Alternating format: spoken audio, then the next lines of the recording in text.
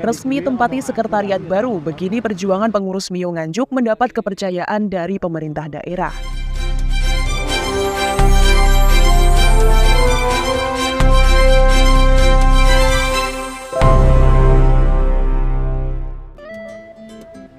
Organisasi Media Independen Indonesia DPD Nganjuk resmi menempati kantor sekretariat baru di Gedung Juang 45 pada Jumat 22 September 2023. Ditandai dengan tasyakuran sederhana bersama Bupati Nganjuk Marhin Jumadi menjelang purna tugas atau di akhir masa jabatannya.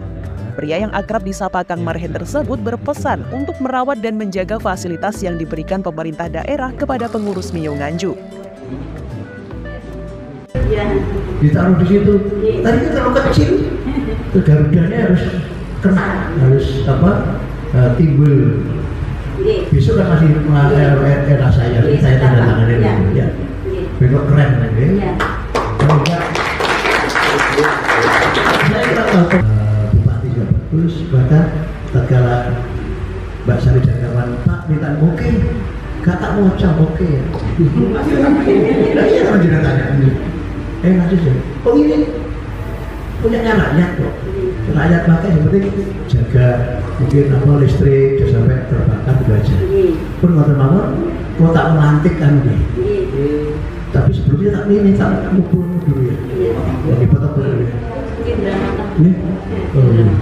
oke Pak Tusun ini Rasul tadi Wassalamualaikum warahmatullahi wabarakatuh Dalam kesempatan yang sama, Ketua Mio Nganjuk Prayogo Laksono menyampaikan rasa terima kasih kepada Bupati Nganjuk dan jajarannya atas fasilitas yang diberikan dan berjanji akan menjaga dan merawatnya sesuai amanah yang disampaikan Kang Marhen.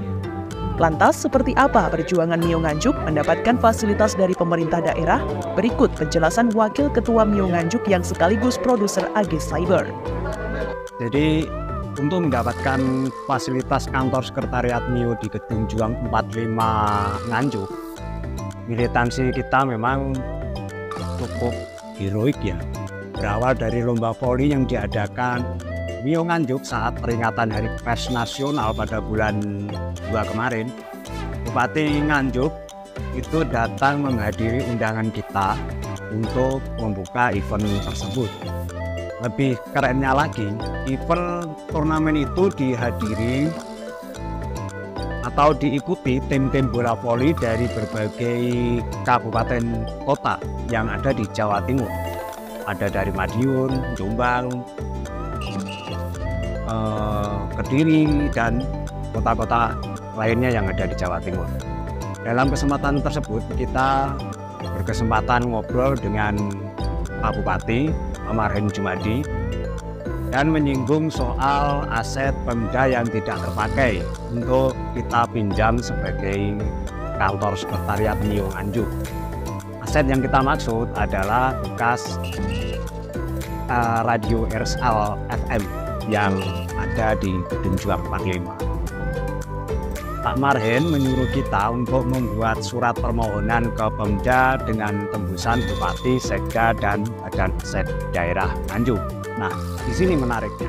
Setelah mendapat disposisi dari Bupati dan di para Sekda, kita masih menunggu keputusan dari Badan Aset Daerah untuk ditelaah.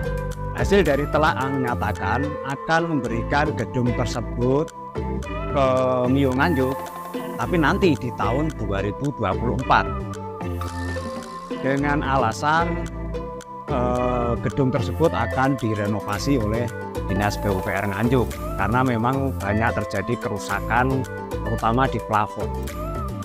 Namun kita menolak dan berjanji akan merenovasi sendiri kerusakan yang ada dengan usaha kita sendiri. Alhasil, turunlah SK dari Sekda yang menyatakan Mio Nganjuk diizinkan menggunakan fasilitas tersebut dengan berbagai ketentuan yang harus kita sepakati. Sementara itu, usai sambutan dan potong tumpeng serta penyerahan cindera mata, Kang Marhen bergegas meninggalkan sekretariat Mio Nganjuk bertolak ke pendopo kabupaten untuk menghadiri acara pelantikan pejabat. Dari Nganjuk, Tim Liputan AG Cyber melaporkan.